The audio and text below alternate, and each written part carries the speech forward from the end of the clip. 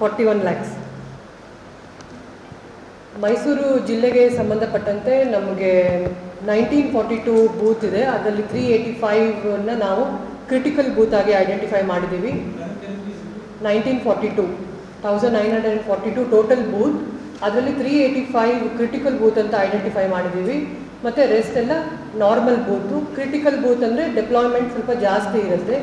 ಅದರಲ್ಲಿ ಸಹ sensitive cluster booth ಇದ್ದರೆ ಅಲ್ಲಿ ಒಂದು half C P M F ಅನ್ನು ಪ್ಯಾರಾಮಿಲಿಟರಿ ಫೋರ್ಸ್ ಫೋರ್ಸನ್ನು ನಾವು ಡೆಬ್ಯೂಟ್ ಮಾಡ್ತೀವಿ.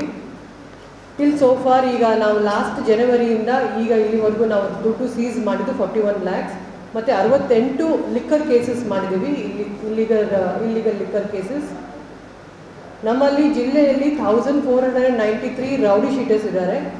Thousand four hundred ninety three ಅದರಲ್ಲಿ already thousand two hundred and one rowdy sheeters ಮೇಲೆ ಬೌಂಡ್ ಓವರ್ ಮಾಡ್ಕೊಂಡಿದ್ದೀವಿ. ಬೌಂಡ್ ಓವರ್ ಅಂದರೆ ಒನ್ ಒಂದು ವರ್ಷ ಪೀರಿಯಡ್ವರೆಗೂ ಅವರು ಯಾವುದೇ ಆ್ಯಕ್ಟಿವಿಟೀಸಲ್ಲಿ ಭಾಗಿಯಾಗಿರಬಾರ್ದು ಆ ಥರ ಬೌಂಡ್ ಓವರ್ ಮಾಡಿಕೊಂಡು ಒನ್ ಒನ್ ಇಯರ್ವರೆಗೂ ಅವರು ಬೌಂಡ್ ಓವರ್ ಆಗಿರ್ತಾರೆ.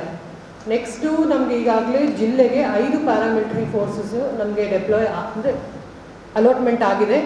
ನೆಕ್ಸ್ಟ್ ಕಮಿಂಗ್ ವೀಕಲ್ಲಿ ಅದು ಬರುತ್ತೆ. ಪ್ಯಾರಾಮಿಲಿಟರಿ ಫೋರ್ಸಸ್ಸನ್ನು ನಾವು ಏರಿಯಾ ಡಾಮಿನೇಷನ್ ಅಂದರೆ ಅವರು ಈ ಪ್ರ ಒಂದು ಹುಣಸೂರು ಟೌನ್ ಇರ್ಬೋದು ಅಥವಾ ಸೆನ್ಸಿಟಿವ್ ಬೇರೆ ಯಾವುದ್ಯಾವುದೋ ಸೆನ್ಸಿಟಿವ್ ಜಿಲ್ಲೆಗಳಲ್ಲಿ ಸೆನ್ಸಿಟಿವ್ ಏರಿಯಾಸ್ ಇದೆ. ಅಲ್ಲಿ ಏರಿಯಾ ಡಾಮಿನೇಷನ್ ಅಂತ ಮಾಡ್ಕೊತೀವಿ ರೂಟ್ ಮಾರ್ಚನ್ನು ಮಾಡ್ಕೊತೀವಿ. ಮತ್ತು ಡೆಪ್ಲಾಯ್ಮೆಂಟ್ ಆ್ಯಂಡ್ ಸೆಕ್ಟರ್ ಆಫೀಸರ್ಸ್ ಆಗಿ ನಾವು ಆ ಪ್ಯಾರ ಪ್ಯಾರಾಮಿಲಿಟರಿ ಫೋರ್ಸಸ್ನ ಯೂಸ್ ಮಾಡ್ತೀವಿ. ನಮ್ಮಲ್ಲಿ ಗಡಿಪಾರು ನಾಲ್ಕು ಜನಕ್ಕೆ ನಾವು ಮೊದಲಿತ್ತು. ಅದರಲ್ಲಿ ಆಲ್ರೆಡಿ ಮೂರು ಜನಕ್ಕೆ ಗಡಿಪಾರು ಆದೇಶ ಆಗಿದೆ. ಯಾದಗಿರಿ, ಬೀದರ್ ಮತ್ತು ಬೆಲ್ಗಮ್ಗೆ ನಾವು ಆಲ್ರೆಡಿ ಬಿಟ್ಟು ಬಂದಿದ್ದೀವಿ ಅವರಿಗೆ. ನೆಕ್ಸ್ಟ್ ಈಗ ಲಾಸ್ಟ್ ವೀಕಲ್ಲಿ ನಾವು ಎಂಟು ಜನ ಮತ್ತೆ ಎಕ್ಸ್ಟ್ರಾ ಎಂಟು ಜನಕ್ಕೆ ನಾವು ಹೊಸ ಪ್ರಪೋಸಲನ್ನು ಕಳಿಸಿದ್ದೀವಿ. ಇನ್ನೂ ಐದು ಪ್ರಪೋಸಲನ್ನು ನಾವು ಕಳಿಸ್ತೀವಿ.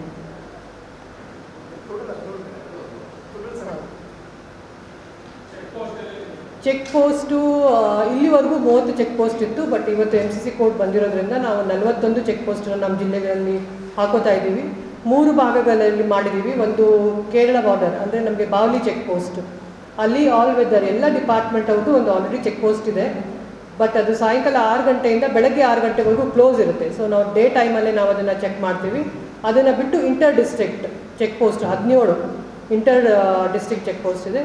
ಉಳಿದಿದ್ದು ಇಪ್ಪತ್ತ್ಮೂರು ನಮ್ಮ ಜಿಲ್ಲೆಗಳಲ್ಲೇ ನಾವು ಮಾಡ್ಕೊಂಡಿದ್ದೀವಿ.